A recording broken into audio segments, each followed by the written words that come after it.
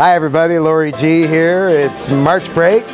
Spring is in the air, but it's freezing cold outside. We're excited to tell you that it's been quite a fantastic year this year. Prices have been relatively cheap up until this last couple of weeks when leafy greens went totally through the roof.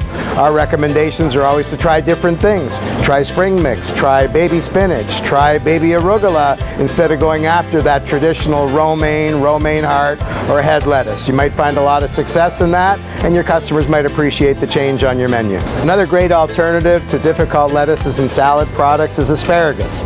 Asparagus comes in three sizes, medium, large, and extra large, and it's not having anything to do with the length, but it does have to do with the thickness of the grass.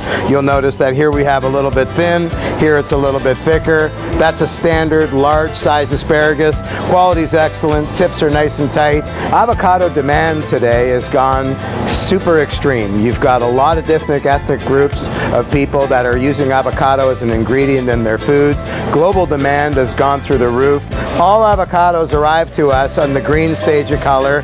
And as we've told you and emphasized in the past, we, we do not want you to refrigerate your avocados. They should always be left outside of the walk-in cooler where they can ripen up naturally to a nice stage of dark green to black color as you can see right here. Mangoes are a little tough to ripen this time of year.